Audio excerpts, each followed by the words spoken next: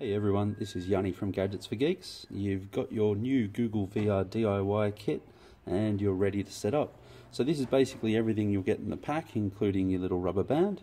Um, these little adhesives you'll have to stick on, uh, but basically just note that they go on that side there.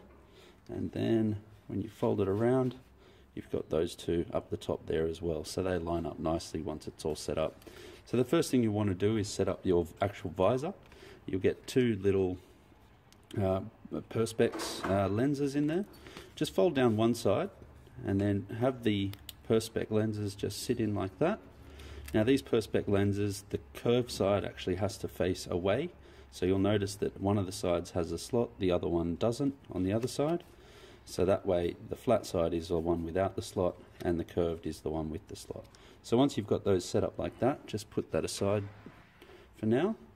Then the other thing that you'll do once you've got your little adhesive Velcro strips on is just get your magnets, place one inside the circle there, hold that down, turn it around, and then the magnet will just grab onto the other magnet.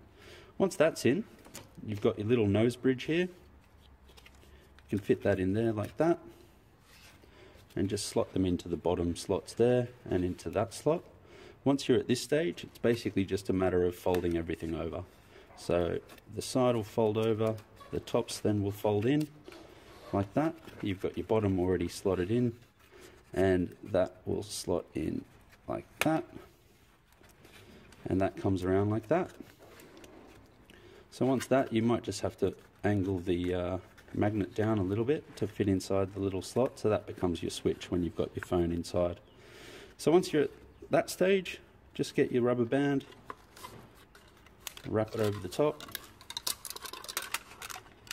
And that's it. You're done. You're ready to rock and roll. So your phone goes in the front part there. Just make sure that everything's all lined up and all the little grooves and things are all filled in and you're good to go. Put your phone in the front fold it down and you're ready to VR thanks for watching